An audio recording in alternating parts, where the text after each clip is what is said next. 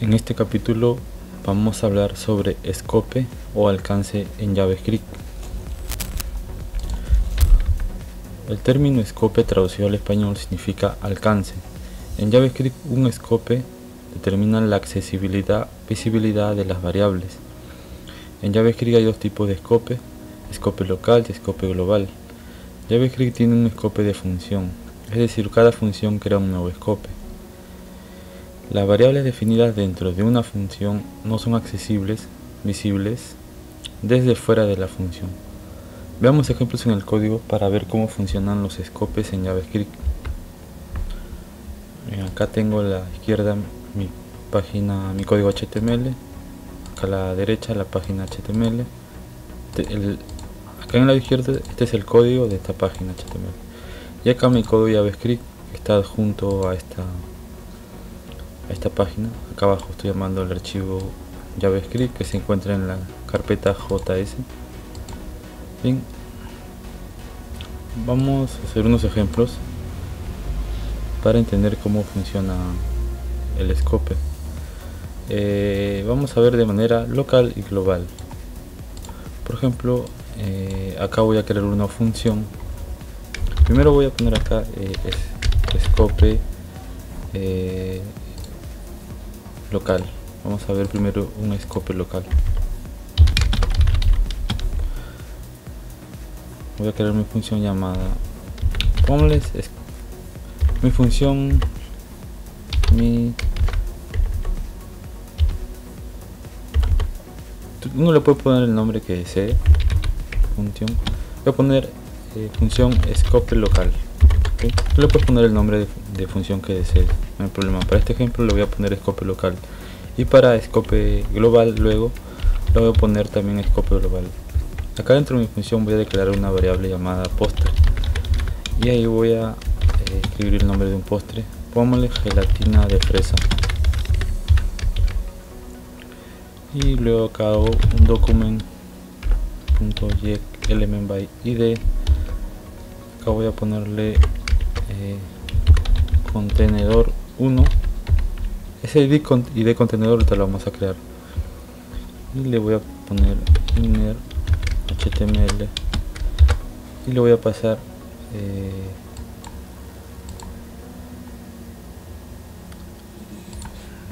voy a hacer la voy a agregarle type of una palabra reservada de javascript. Y paso la variable postre que define acá arriba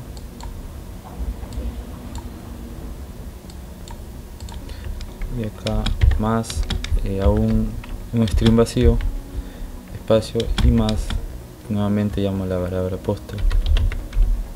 Ok vamos a ver por qué estoy haciendo esto. Luego fuera de mi función fuera de la llave escribo document.element y voy a llamar a contenedor 2 también lo voy a crear ahorita en el código html5 y le paso inner html igual la variable postre simplemente.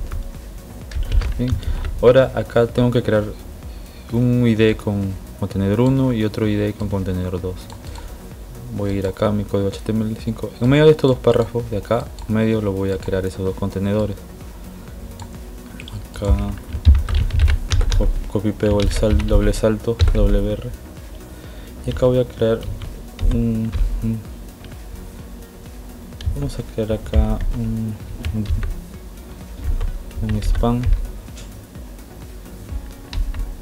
con id contenedor 1 y luego otro spam con id contenedor 2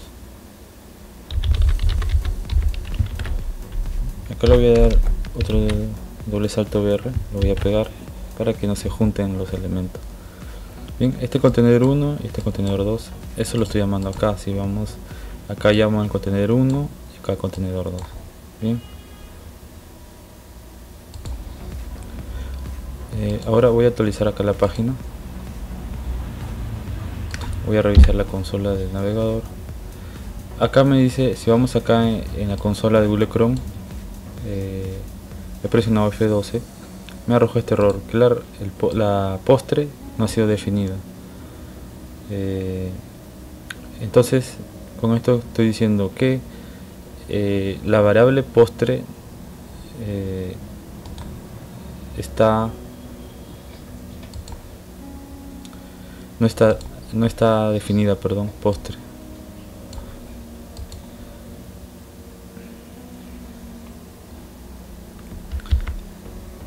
ah mira acá voy a pero voy a me faltó agregar acá. Voy a llamar a scope. Acá eh,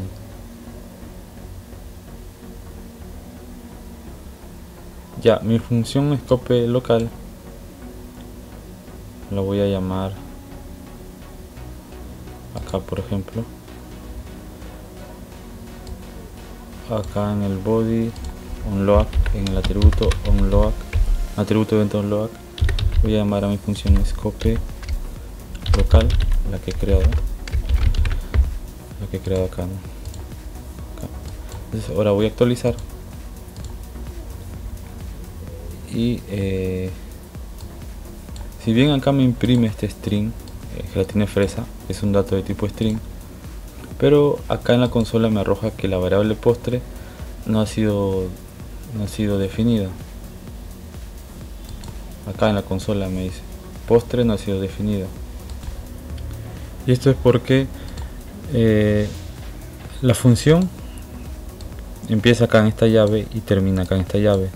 Y la variable postre la estoy llamando acá. Y está fuera de la función. Entonces eh, acá estoy acá yo tengo una variable llamada postre que es una variable local. Tiene un alcance o un escope local. Entonces es, para usarla fuera de la función hay que hacer otro tipo de, de código no sí se puede pero quiero que lo he hecho este ejemplo para que veas que si la variable postre está fuera de la función pues me va a arrojar que no ha sido definida.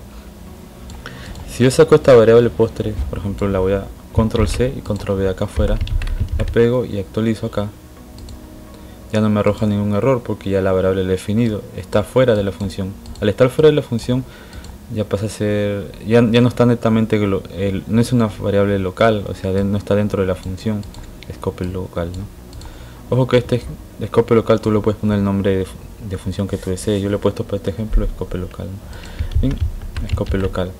Ahora vayamos con scope global. Obviamente un scope, un scope global es un, es un alcance global. La variable va a estar siempre disponible en cualquier parte del código la diferencia de acá que la variable postre solo está disponible dentro de la función scope local. ¿no? Por ejemplo vamos a hacer un ejemplo de, de scope de scope global. Voy a comentar este código para que no haya conflicto.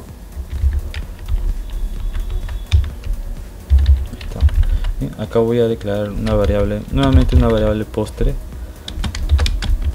eh, que se llame a ver eh, torta hecha torta de chocolate.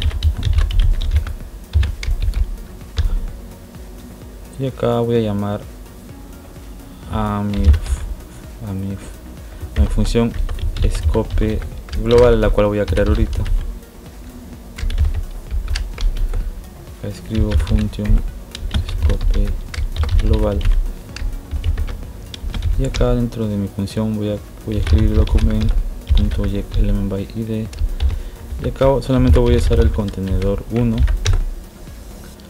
que ya lo tengo definido acá en mi, en mi código de aquí. Este ya no solo para, este, para, este, para global voy a usar este, este acá. Ah y acá voy a llamar a mi función scope global. Ya no la local porque vamos a probar con global. Scope global.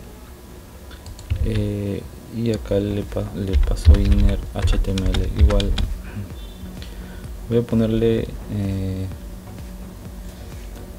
este string.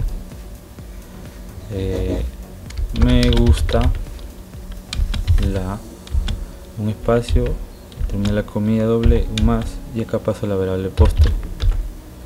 Ok.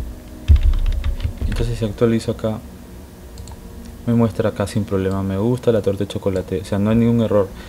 Y la, la como saqué la variable postre está fuera de la función scope global, casi igual como te expliqué al final de, explicarte la scope local, como la variable postre está fuera de la función, pues pasa a ser una variable global, ¿no? Se puede acceder sin problema y no me arroja ningún error. Entonces ahí hemos visto que tenemos el escopo o alcance de una variable de manera local y de manera global. Eh, obviamente también cuando aplicas modo estricto y o trabajas con códigos más complejos.